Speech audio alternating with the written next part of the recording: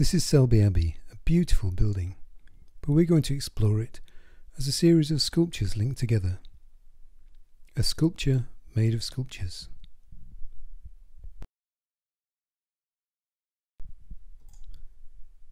We're going to start at the main west doors.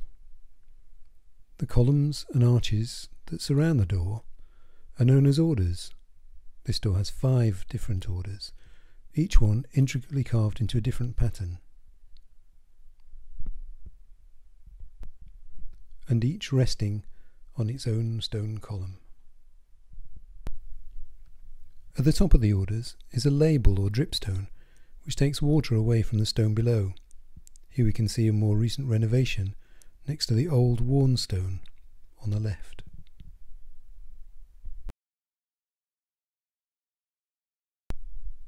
Around the corner on the south side of the abbey, a small door has no orders but has a label which is connected by two carved faces.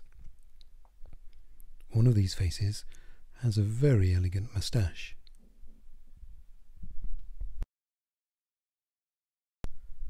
The stones sticking out above the arch windows on both layers of the nave are known as corbels, and above the drains we find some very eroded old waterspouts. At various places along the nave roof we find grotesques. These differ from gargoyles in that they don't have water spouts coming out of their mouths. This is an older grotesque, and this one a more recent addition to the abbey.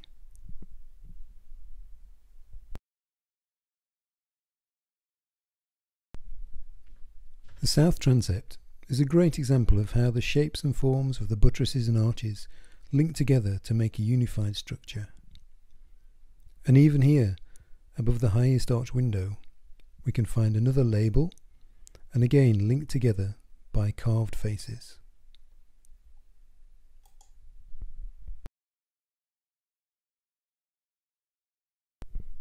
The greatest window is a fabulous example of lightness of touch.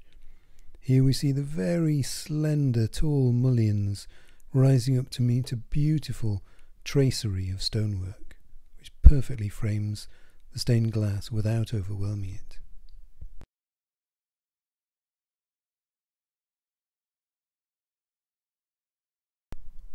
There is another fine example of this delicate interconnected stonework on the north side of the abbey.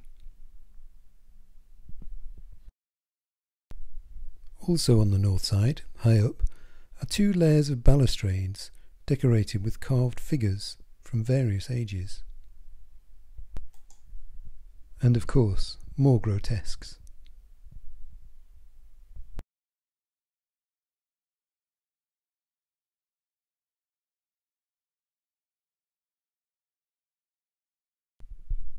Lower down, one of the oldest parts of the abbey is marked by the string course. It's purely decorative and has no function. Even the highest parts of the abbey are studded with sculptures. There are angels, imps, finials, pinnacles, balustrades, and life size statues enjoying the very best views of Selby. Now we'll move inside and see examples of how the sculpted elements link together.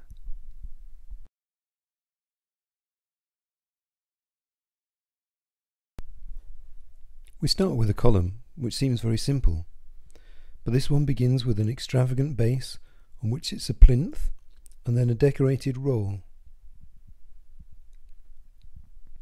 The shaft of this column is plain, but rises to an ornate capital and above that is an impost block from which springs the arch above.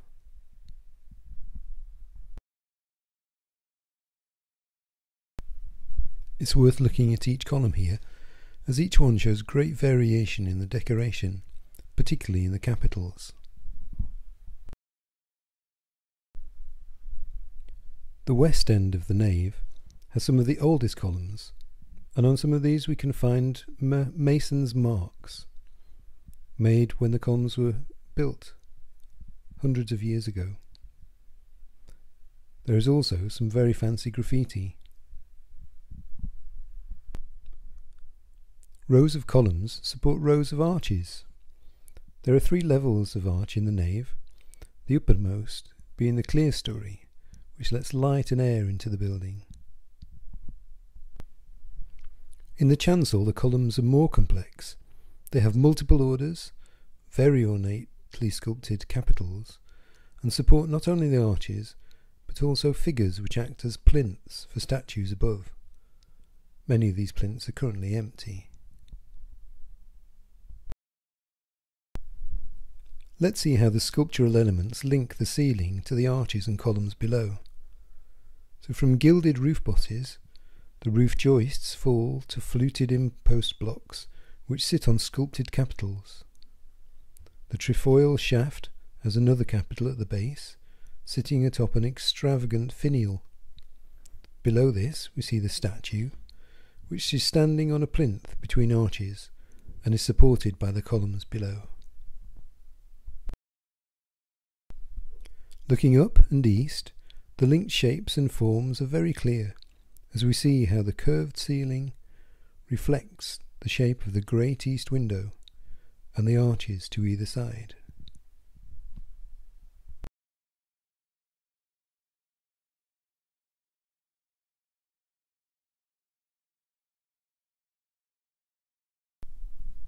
And again, this time from the bottom up, the incredible lightness of the window's stone tracery links seamlessly with the forms surrounding it.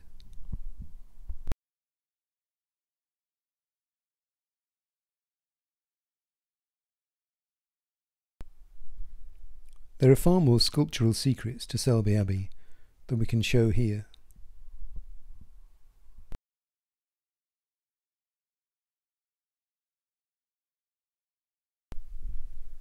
So do visit the Abbey and discover for yourself this amazing sculpture made of sculptures.